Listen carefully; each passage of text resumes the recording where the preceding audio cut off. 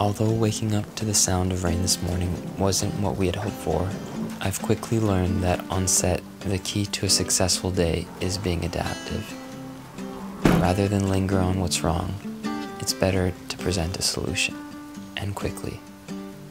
We ended up swapping out the scene we were supposed to shoot today and took the occasion to film a rain scene that was meant to take place in Belgium later this month.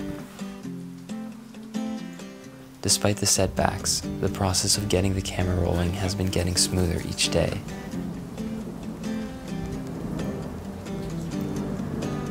And people in the crew always find a way to lift the mood. Je partirai tellement aujourd'hui. Je partirai au milieu de la nuit. I think the fact that we had a rest day yesterday also helped. Je dirai bonsoir à tous mes amis. It gave us the chance to take a well deserved break, spend some time doing little things just for ourselves.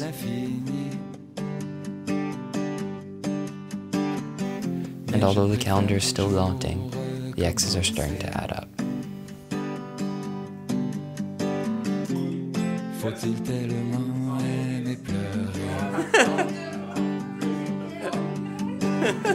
Yesterday was also David's 25th birthday.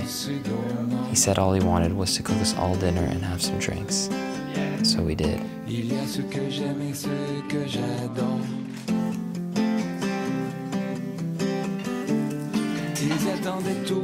got him cake too. Happy birthday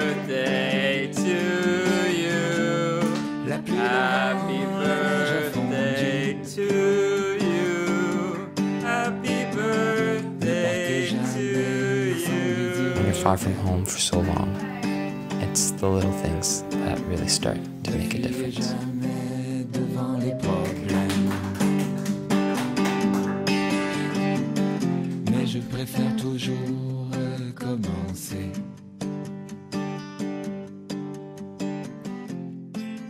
jamais